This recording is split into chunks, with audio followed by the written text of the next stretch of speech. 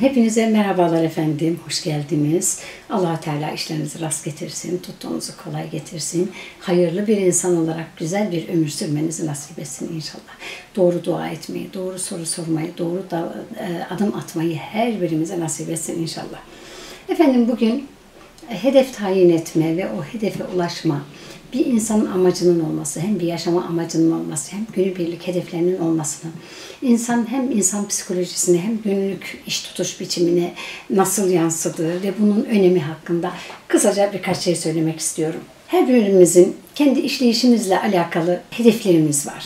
İşte şu okulu bitireyim, şu çocuk hayırlı bir şekilde e, hayırlısıyla büyüsün, işte işimin, eşimin işleri yoluna girsin. Hayattaki her şeyle alakalı. Eğer biz hayata geliş amacımızı bilirsek ona uygun hedefler koyabiliriz. Ulaşmak istediğimiz şeyler de o derece düzgün, o derece güzel ve o derece iyi olur. Şimdi ben ilk önce bu çocuk yetiştirmekle ilgili annelerin hedeflerinden, babaların hedeflerinden söz edeceğim. İyi bir ilişki kurma hedefinden söz edeceğim ondan sonra. Ve e, bu ikisiyle ilgili ne yaptığımız, sonucun ne olduğu ve sonucun daha iyi olabilmesi için ne yapacağımız gerektiği hakkında da kendi görüşlerimi ifade etmeye çalışacağım. Efendim bütün annelerin istisnasız akli dengesi yerinde olmayıp da bir hasta, bir rahatsızlık durumu söz konusu olmadıkça sağlıklı düşünen herkes çocuklarının iyi bir yere gelmesini ister. Çocuklarını çok severler. Çünkü o e, canından bir parçadır. Canım diye severiz yavrularımızı. O kadar bizim için kıymetlidir ve herkes çocuğunun iyi bir yere gelmesini ister. Herkes çocuğunun başarılı olmasını ister. Fakat bizim gönlümüzde değerli ve kıymetli olan şey neyse ona uygun çocuklarımızı da yetiştirmeyi hedefleriz. Eğer bizim çocuklarımızın e, iyi bir meslek sahibi olmasıyla ilgili zihnimizde iyi bir anlam varsa, bir değer varsa çocuklarımızın da o değere ulaşmasını arzu ederiz. Bunun için de ders deriz, not deriz, ödev deriz, proje deriz, illa şu okulu kazan deriz, hatta meslek deriz. Bunların hepsini çocuğumuzun iyiliği için yaparız. Fakat acaba çocuğumuzun gerçeği ne? Ben en az şu anda zannediyorum 4-5 tane oldu. Daha dünya kadar vardır da benim şahit olduklarım. Anne baba ısrarla çocuğu tıbba yönlendiriyor. Ama çocuk tıp istemiyor. Ne oluyor? Okuldan ayrılıyor. Okuldan ayrıldığı zaman sınıfta kalıyor. Anne baba baskı yapıyor. Çocuğun okuldan tıp fakültesi gibi bir yerden nasıl ayrılırsın diyerekten. Ondan sonra çocuk biraz daha gayret ediyor. İkinci sınıfa zar zor geçiyor fakat ikinci sınıfta da kalıyor. Çocuk mutsuz, anne baba krizde. Benim oğlum tıp fakültesini okuyor. Benim kızım tıp fakültesinde okuyor demekten mahrum kalmak istemiyorlar. Kimin için çocuğun doktor olmasını istiyorsun? Büyük bir ihtimalle kendileri için. Çocuğun gerçeğinin ne olduğunu ne biliyoruz.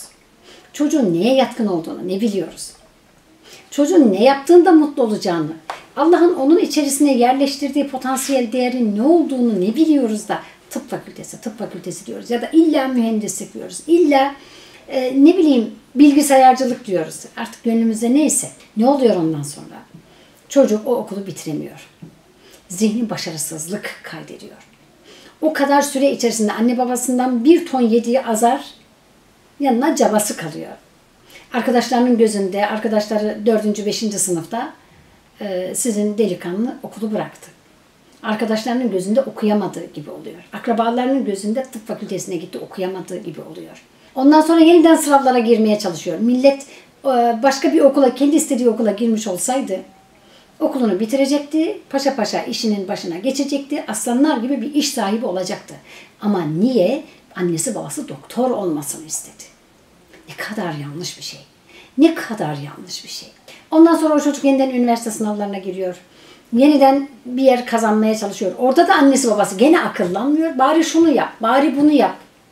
Sen o kadar zekisin, şunu yapabilirsin. Hadi onu yapmadın, bunu yap. Hala akıllanmıyor çocuk gene. Çocuğun potansiyeli ne? Biz çocuğu zorladık, yanlış yaptık, çocuğun hayatının 4-5 yılını çaldık. Bari şimdi kendi istediğini yerine getirsin demiyoruz. Bir bizim zihnimizdeki hedefler var, bir de çocuğun realitesi var. Çocuğumuzun üzerindeki hedefleri kendi realitesine göre tespit edeceğiz. Biz çocuklarımızın iyi bir insan olması için biz çocuklarımızın güzel ve ahlaklı bir insan olması için sevdiği bir mesleği yaparak o meslekte ilerlemesi, o mesleği bu dünya hayatına sunarak çocukluğundan beri hayal ettiği şey neyse onu hayata geçirmesini istemeliyiz. İyi çocuk yetiştirmek için mutlaka bilgi gerekiyor. İşte bilgilenmediğimiz zaman ya çocuğumuz doktor olsun diye yaparız, ya notun düşük diye kızarız, ya o arkadaşın iyi değil ben onu sevmedim onunla konuşmayacaksın deriz. Bir e, anne bana diyor ki Salih Hanım hayal kırıklığına uğradım. Hayırdır inşallah dedim. Kızımın cep telefonunda bir oğlanın mesajını gördüm dedi. Peki ne olmuş dedim. Ben kızımdan böyle bir şeyi asla beklemezdim. Asla beklemezdim. Hayal kırıklığına uğradım diyor.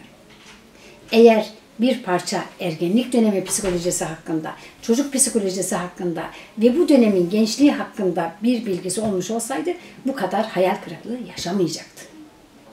Çocuğun realitesini bilse gene yaşamayacaktı. Sen planlamadın. Madem ki olmuş oturup konuşursun. Yavrucuğum ben böyle bir şey gördüm. Bu nedir, ne değildir? Otur insan gibi konuş çocuğunla. Bir erkekle münasebet yaparken daha 4 3-4 yaşlarındayken çocuğa mahremiyet bilgisi verilip kendisinin dışında babası dahi olmak üzere erkek kardeşleri, abileri, abla, abileri dahi olmak üzere bir çocuğa nasıl davranacağını, kendisini nasıl koruyacağını bu bilgileri öğretirsin. Ondan sonra da çocuğunuzun ahlaki gelişimi için çaba sarf edersiniz. Aile içerisinde çocuğun yeteneklerini açığa çıkmak için zemin oluşturursunuz. Böylece o çocuğun hayatında iyi bir noktaya gelebilmek için yol açmış olursunuz. Çok değerli şair, yazar e, Deni Adler Topuzoğlu'nun şöyle bir sözü var. Arkasından itildiğinde kaplumbağa bile tersine döner. Aynı zamanda ressam bu delikanlı. Dolayısıyla arkasından itmeyeceğiz, yol açacağız. Bizim hedefimiz çocuklarımızın iyi bir insan olması önemli. İyi bir insan olması olmalı. Peygamber Efendimiz sallallahu aleyhi ve sellem buyuruyorlar ki bir insanı tanımak isterseniz namazına, abdestine değil ahlakına bakınız. Konuştuğu zaman doğru söylüyor mu? Söz verdiği zaman sözünde duruyor mu? Vefalı mı? Ahlaklı mı? Ölçüde tartıda hile yapıyor mu? Bunlara dikkat edin diyor. Biz nedir? Allah'ın kıymet verdiği şey neyse onun üzerine hedefler tayin edeceğiz. Ve bu da mutlaka bilgili olacak. Başka çaresi yok. Mutlak. O yüzden de tekrar üstüne basarak söylüyorum. Mutlaka bilgi sahibi olacağız. Bilgisiz el hüner üretmez. Bu cümleyi benden çok duyacaksınız. O yüzden de e, bizim bir hedef tayin ettiğimiz zaman bu hedefi neye göre tayin ediyoruz? Kendi hedefimiz mi? Çocuğun kendi gerçekliğine göre mi? Eşimizle alakalı hayallerimiz var, hedeflerimiz var. Eşimiz bize iyi davransın istiyoruz. İlk önce bizim davranmamız gerektiğini bilmiyoruz. Ben şunu görüyorum ve çok şaşırıyorum. Diyelim ki bir beyefendi bir filmde ya da bir yerde eşine çok iyi davranıyor. Prensesler gibi muamele ediyor. Hanımefendi diyor ki ay eşim bana böyle davransa dünyanın en mutlu insanı olurum. Ben de onu başıma tac ederim. Ben de diyorum ki neden sen ilk önce ona bir prens gibi, bir kral gibi muamele etmiyorsun? Bu davranışın, bu anlayışın sende oluşması, sende yerleşmesi, sende kök salması kıymettir, değerdir.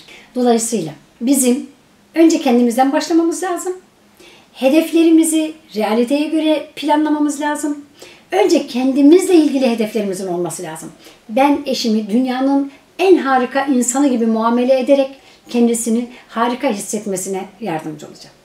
Ben eşimin benim gözümdeki çok değerli olduğu gerçeğini ona değerli gibi hissettirecek davranışlarla fark ettireceğim, hissettireceğim. Çünkü ben böyle davranmayı hak ediyorum.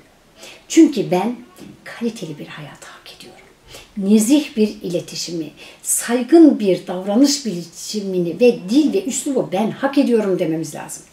Hedeflerimiz ilk önce kendimizle alakalı olmalı. İyi bir anne olma hedefi, iyi bir eş olma hedefi, okuyan bir insan olma, düşünen bir insan olma hedefi.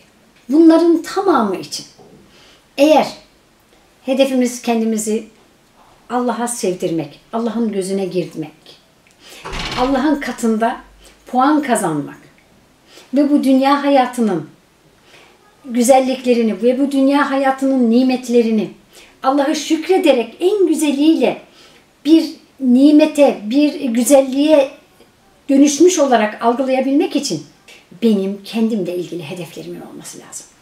Ve bu hedeflerin başında Allah razı etmek gelmeli. Ve bu hedeflerin başında mutlaka bilgilenmek gelmeli. Peygamber Efendimiz sallallahu aleyhi ve sellem buyuruyorlar ki bir insanın mesul olduğu şeyle ilgili bilgilenmesi farzdır. Bu yüzden bizim kendimizle ilgili bilgilerimiz, hedeflerimiz, hayallerimiz ve ideallerimiz olmalı. Dost doğru bir insan olma hedefimiz olmalı.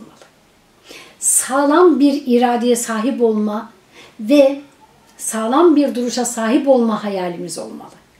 Bunun için dualar etmeliyiz. Biliyoruz ki iki çeşit duamız var. Bununla ilgili ayrı bir inşallah programda yapmayı düşünüyorum. Kavli duamız ve fiili duamız. Kavli dua dil ile yaptığımız, fiili dua o anlamda adım attığımız demektir. O yüzden efendim bizim hedeflerimiz ilk önce kendimizle ilgili olmalı. Hedeflerimiz ilk önce bilgilenmemiz ile ilgili olmalı. Hedeflerimiz ilk önce kendimizi düzeltmemiz ile ilgili olmalı.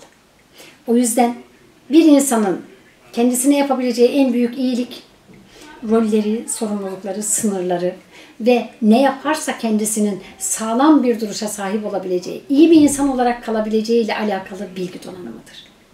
Kendisinin model aldığı insanlara yakınlığıdır. O insanları takibidir.